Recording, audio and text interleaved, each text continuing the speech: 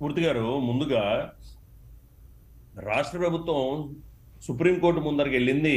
Main మాకు legislative competence ఉందని చెప్పాలి అన్న విషయం మీద సుప్రీంకోర్టుకి వెళ్ళడం జరిగింది. మోరార్లెస్ వాళ్ళ రిలీఫ్ చూసినా అదే రిలీఫ్ ఉంది.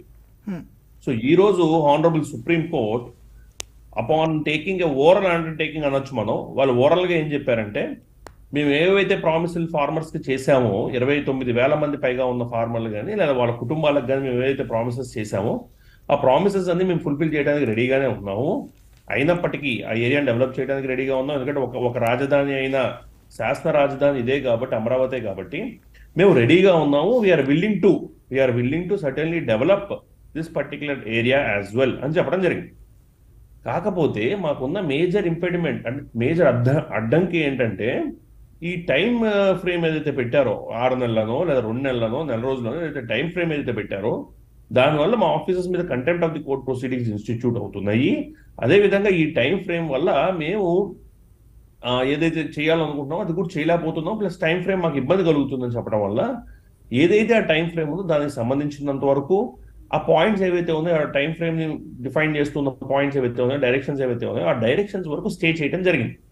So the point for consideration first point ఏంటంటే ఆంధ్రప్రదేశ్ రాష్ట్ర ప్రభుత్వం ఏదైతే ప్లీలో వాళ్ళు అడిగారో లీవ్స్ ప్రేయర్ ఏదైతే అడిగారో ఆ ప్రేయర్లో ఒక ప్రేయర్ కూడా ఈరోజు కన్సిడర్ చేయడం జరగలే. ఇది best of my knowledge subject correction so ఏవైతే వాళ్ళు అడిగారు లెజిస్లేటివ్ కాంపిటెన్స్ మాకు ఉందని చెప్పి చెప్పాలి అన్నారు.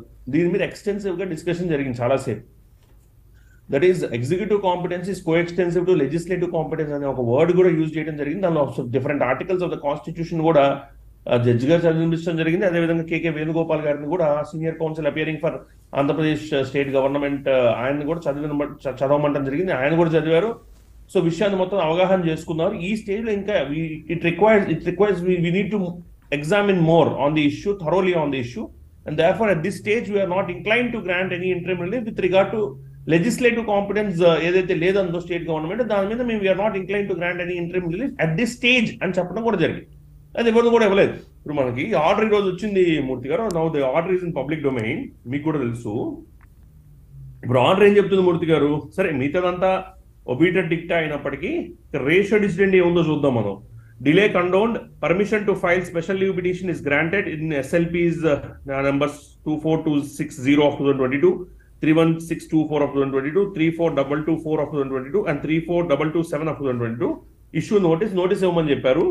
Petitioners to complete service of notice. So petitioners ఎవరైతే ఉన్నారో వాళ్ళ నోటీస్ కూడా వాళ్ళ మీద ఎవరైతే పాటిస్తున్నారో వాటి మీద సర్వ్ చేయమని చెప్పారు. List these matters on thirty one one two thousand twenty three on the top of the list ముప్పై ఒకటి ఒకటి రెండు వేల ఇరవై మూడు నాడు టాప్ ఆఫ్ ది లిస్ట్లో దాన్ని పెట్టమని చెప్పారు. Till the next date of hearing అంటే నెక్స్ట్ డేట్ ఆఫ్ హియరింగ్ వరకు direction numbers three to seven at page number 383 and 384 in order dated 3rd March 2022 passed by the High Court in writ petition numbers 13203 of 2022 and batch shall remain stayed under. So ఇక్కడ ఏం చెప్పారు? Basically ఆ time frame ఏదైతే పట్టారో ఆరు నెలల లోపల complete చేయాలనో లేదా ఇంకొకటి ఇంకోటి కంప్లీట్ చేయాలనో ఏదైతే టైం ఫ్రేమ్ పెట్టారో ఆ టైం ఫ్రేమ్ని స్టే చేయడం జరిగింది. It's now given an impression that the whole judgment of the high court has been stayed whole judgment of the high court has not been stayed అది stay చేయలేదు. రిచ్ ఉందా లేదా అనేది ఇంకా డిసైడ్ మొత్తం మొత్తం స్టే చేసేసి ఉంటే that issue have been different అసలు మీరు అడిగిన రిలీఫ్స్లో ఒక్క రిలీఫ్ కూడా ఇవ్వలేదు. That is one point that needs to be canvassing the government has already ఏదో గెలిచింది అది ఇది అని చెబుతున్న వాళ్ళందరూ అర్థం చేసుకోవాల్సిన ఓన్లీ పాయింట్ ఏంటంటే గవర్నమెంట్ ఏవైతే రిలీఫ్స్ అడిగి in those court supreme court of India Okay. None of those who are given none of those reliefs who are they could secure it today interim relief వాటిలో వీటిలో ఇవ్వలేదు. So ఇవ్వకుండా time time bound ఏదైతే పెట్టారో within one month from the date of the ఆర్డర్ని so within six months from the date of the ఆర్డర్ని ఏవైతే పెట్టారో వాటి మీద మాత్రమే. స్టే ఇవ్వడం జరిగింది. సో అంటే నేను చూడటం జరిగింది మూర్తి గారు ఇందాక కూడా మీరు ఇంట్రాక్షన్లో చెప్పారు.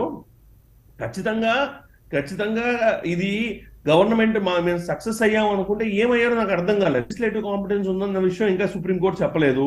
It is yet to be it is yet to be pronounced అంటే నాకు అర్థం కాని విషయం ఏంటంటే ఇప్పుడు అమరావతి విషయంలో స్టేట్ గవర్నమెంట్కి సుప్రీం కోర్టులో వచ్చిన రిలీఫ్ ఏం రిలీఫ్ అంటే ఓన్లీ రిలీఫ్ వాళ్ళ ఆఫీసర్లని contempt of the court proceedings నుంచి వాళ్ళు సెక్యూర్ చేసుకోగలిగారు. కోర్టు ధిక్కార చర్యలకు సంబంధించినంత వరకు వాళ్ళు సెక్యూర్ చేసుకోగలిగారు. దానికి మించి ఇంకేదో వచ్చిందని అయితే నేనైతే భావించట్లేదు. ఓకే చిన్న బ్రేక్ తీసుకుందాం బ్రేక్ తర్వాత డిస్కషన్